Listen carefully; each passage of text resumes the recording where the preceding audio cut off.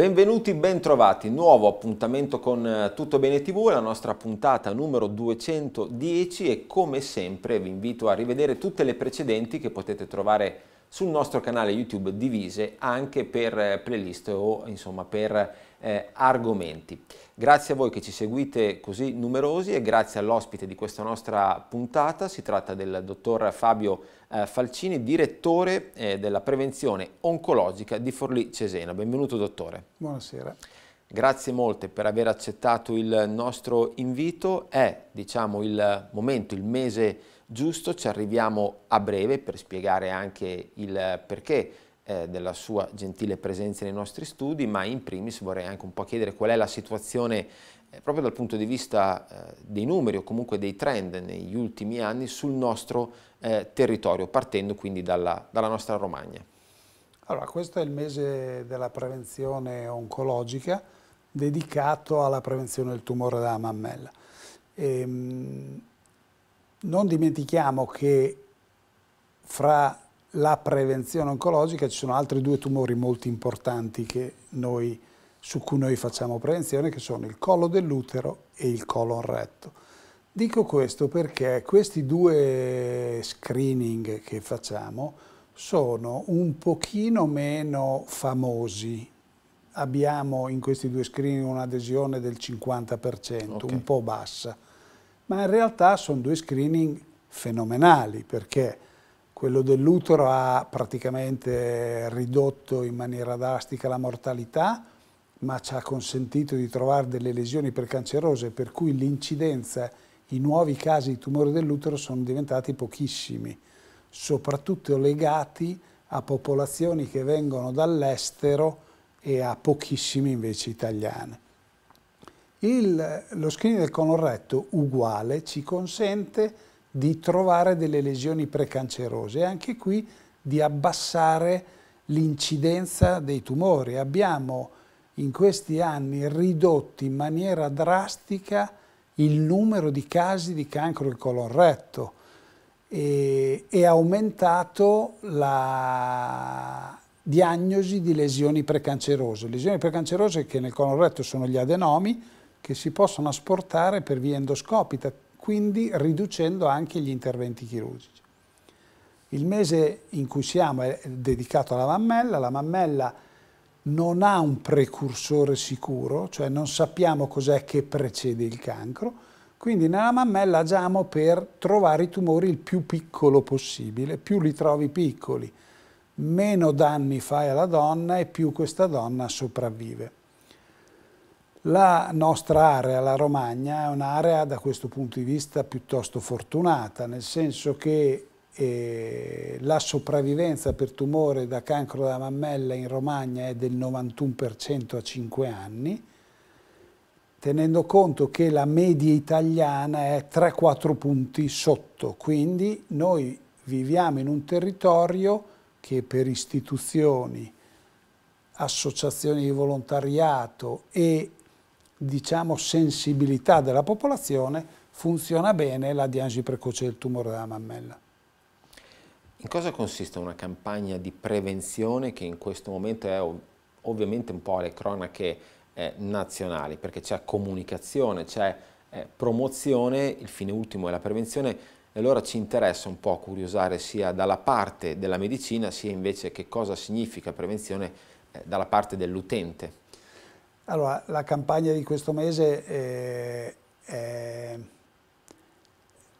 si evidenzia perché vengono colorati di rosa tutti i monumenti in tutte le città per sensibilizzare le donne a fare prevenzione. Ma prevenzione, giustamente, è un termine vasto perché un conto è fare la mammografia, che è lo, la sensibilizzazione delle donne, in Emilia-Romagna siamo l'unica regione che fa la mammografia anche alle 45-49 anni, in tutto il resto d'Italia si fa dalle 50 alle 69 anni. Okay. In Emilia-Romagna abbiamo aggiunto 45-49, adesso qualche altra regione comincia, e abbiamo aggiunto 70-74, quindi in Emilia-Romagna abbiamo fatto 45-74, quindi un'ampia partecipazione di popolazione.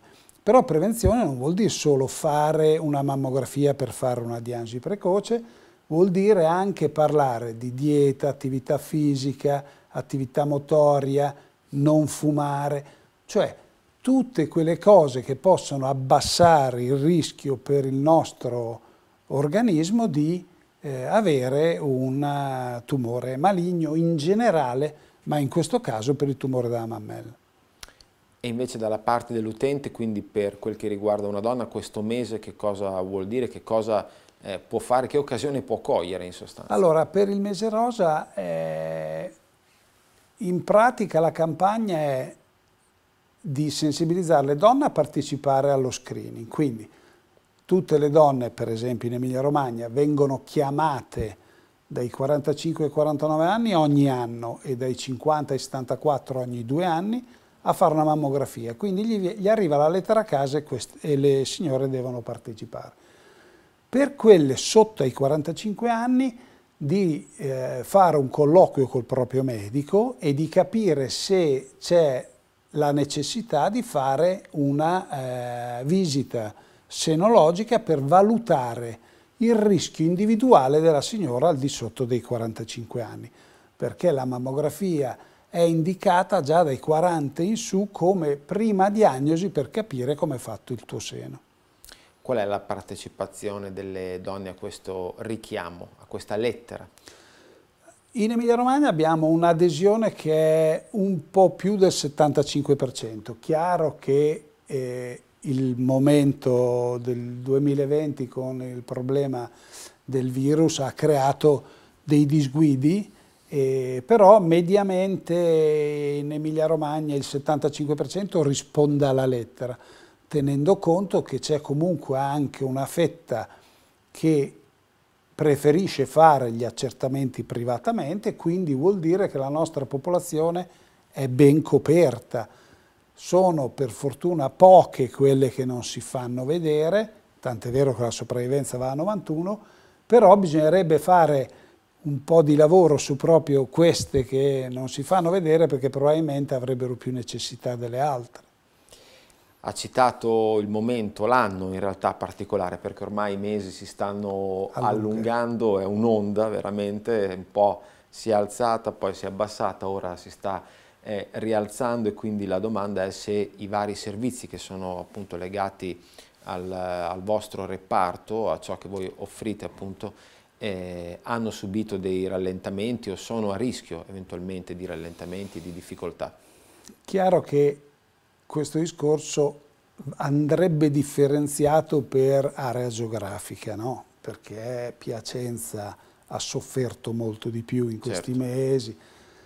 Per la Romagna e l'Emilia Romagna in genere, intanto le attività di diagnosi precoce, quindi una donna che avesse avuto un sintomo, non c'è mai stata chiusura.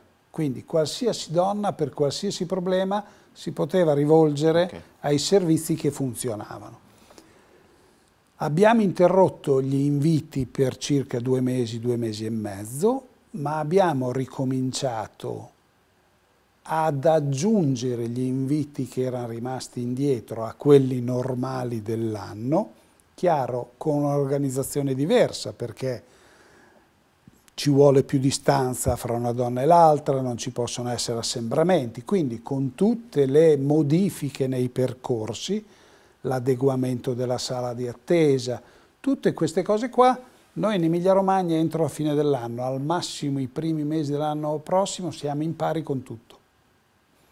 Complimenti quindi perché questo è certamente qualcosa di particolarmente, particolarmente utile. Eh, prima ha usato una parola che è un po' magica all'interno dei nostri studi è della parola alimentazione, all'interno ovviamente anche del concetto di prevenzione più globale. Ecco, io mi soffermerei per qualche minuto proprio su questi temi, su quei consigli eh, che vanno dati e che dall'altro lato vanno compresi per eh, cercare di mantenere uno stato di, di salute che fondamentalmente credo sia uno stato di equilibrio.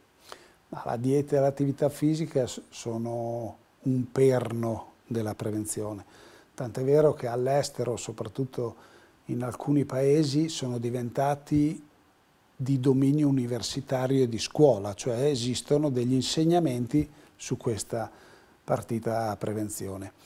In più ci sono ormai tanti lavori che dimostrano che anche nelle persone che hanno avuto un tumore, il avere una dieta eh, bilanciata e ovviamente eh, controllata e un'attività fisica riduce il rischio di avere delle recidive. Quindi chi fa una dieta giusta e attività fisica ha meno probabilità di recidiva di tumore rispetto a chi invece si lascia andare all'obesità, al fumo, a tutte quelle cose che...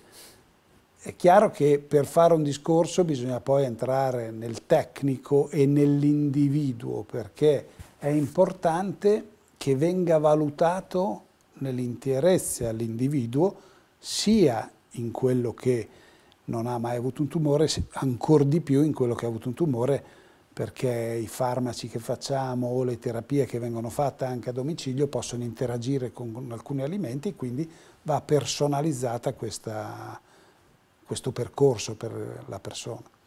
Parlando di dieta, possiamo dire che gli elementi che la compongono stanno cambiando o sono cambiati rispetto alla stessa che magari si utilizzava dieci anni fa?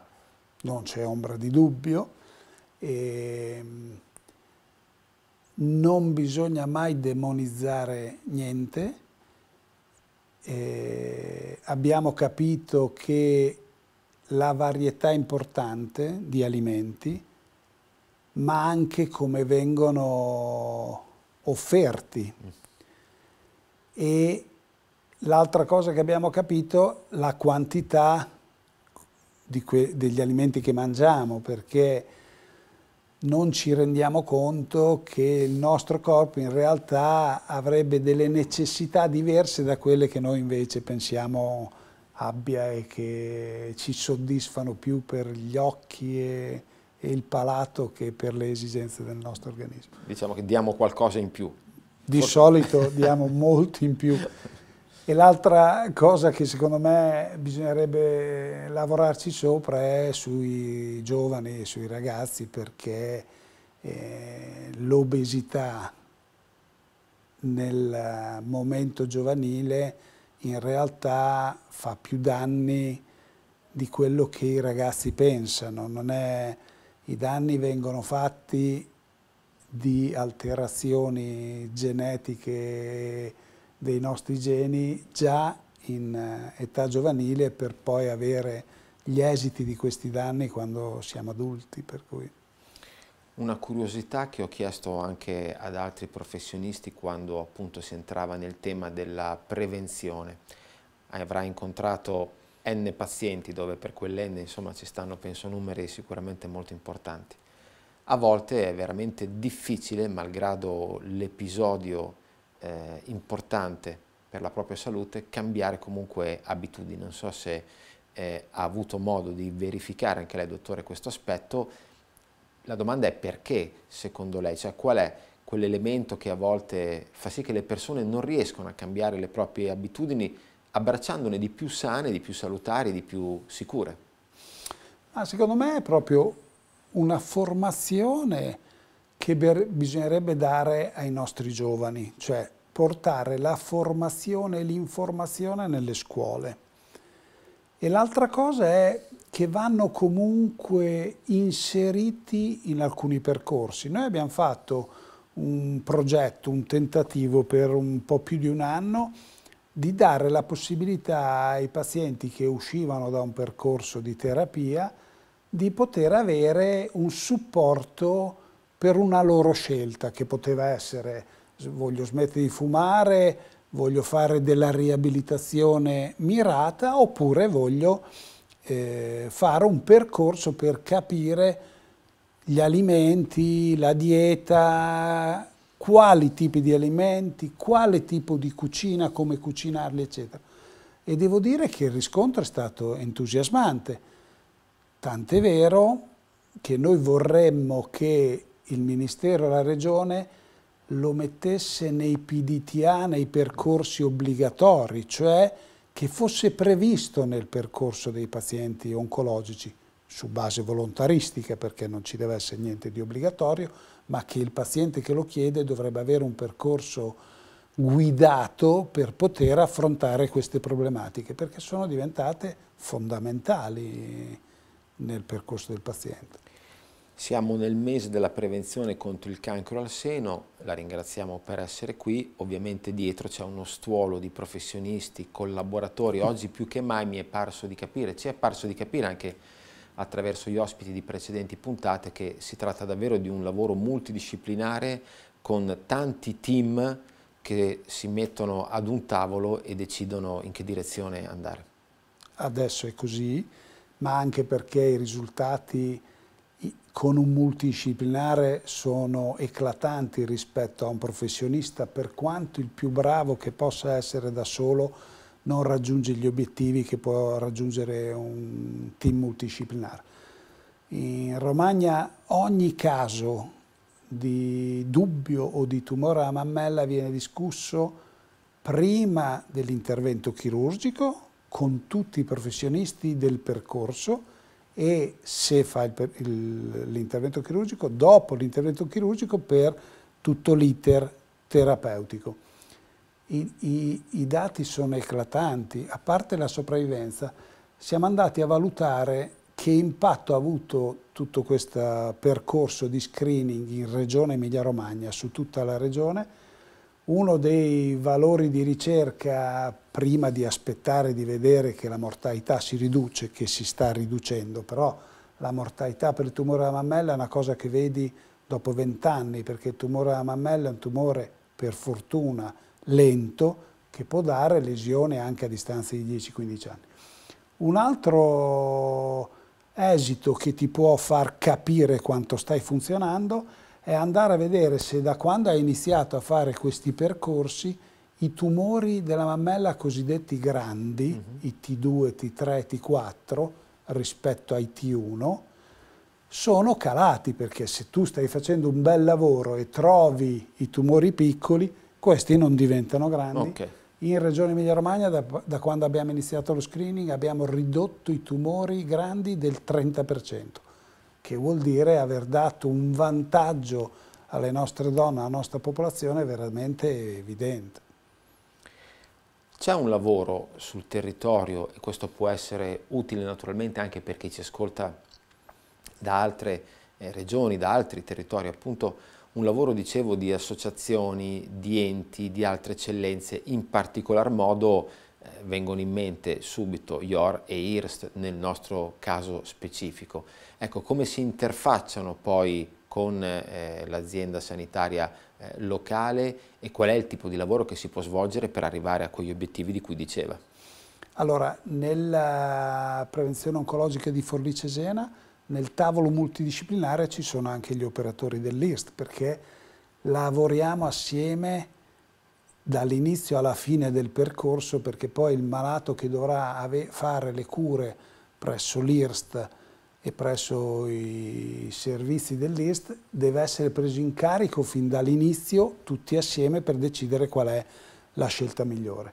Le associazioni di volontariato sono fondamentali perché secondo me eh, i risultati che si sono avuti in Romagna, in generale su tutti i tumori, ma soprattutto per il tumore della mammella, sono favorevoli anche per le associazioni di volontariato che ci sono sempre state di fianco, ci hanno aiutato e secondo me dovrebbero essere ancora più partecipi del tavolo anche di fronte alle strategie future di integrazione fra azienda, istituto e percorso sul territorio perché noi in Romagna abbiamo la fortuna di avere un istituto a carattere scientifico. Certo. Noi bisogna che portiamo vicino a casa delle persone il massimo della ricerca, della terapia e della diagnosi.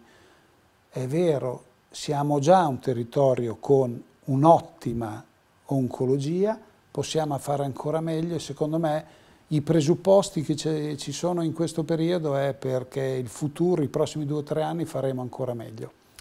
Gli ultimi due passaggi sul futuro, il primo riguarda, eh, visto che abbiamo parlato di tanti elementi che si uniscono, un'università che sta per eh, nascere, o meglio l'università a Forlì c'è dall'89, ma parliamo ovviamente della facoltà di medicina e chirurgia che in questi giorni apre letteralmente i battenti con le prime lezioni, l'inaugurazione dell'anno accademico, insomma si prepara una nuova strada per la città, per il territorio.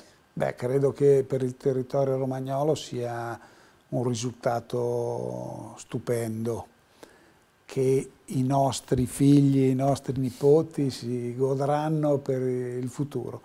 Risultato stupendo da ogni punto di vista, ma per quanto ci riguarda, perché nell'IRST c'è già come socio l'Università di Bologna okay. e quindi verrà automatico l'integrazione fra la componente universitaria, l'azienda e l'IRST nella formazione di tutti i medici che verranno a fare medicina in Romagna, per cui secondo me la potenzialità cresce ancora con questa scelta. Quindi in quest'ottica, ultimo passaggio della nostra trasmissione, cosa è possibile immaginare da qui ai prossimi dieci anni, dottore?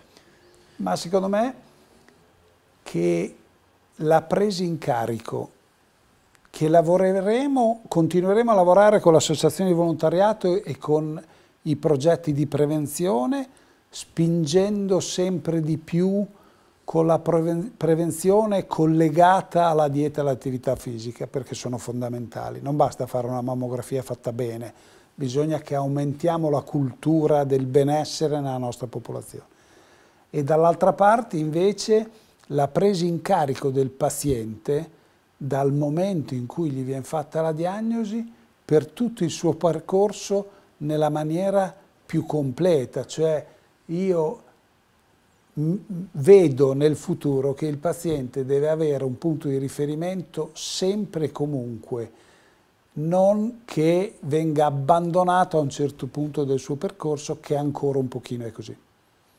Grazie molte dottore, grazie, grazie davvero, è stata l'occasione anche per eh, ricordarci e ricordarvi che siamo appunto nel mese di ottobre ed è il mese della eh, prevenzione contro il cancro al seno. Grazie allora al dottor Fabio Falcini, direttore della prevenzione oncologica di Forlì Cesena, grazie nuovamente. Grazie a voi per averci seguito, come sempre in chiusura vi ricordo il nostro indirizzo mail che è tuttobene.tv-gmail.com. Grazie, alla prossima!